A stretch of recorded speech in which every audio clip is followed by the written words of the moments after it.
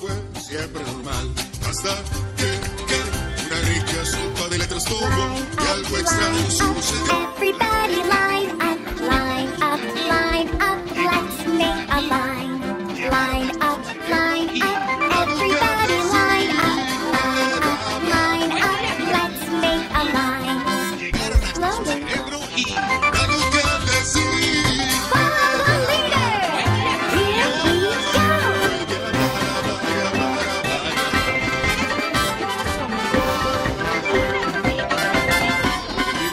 Carmen.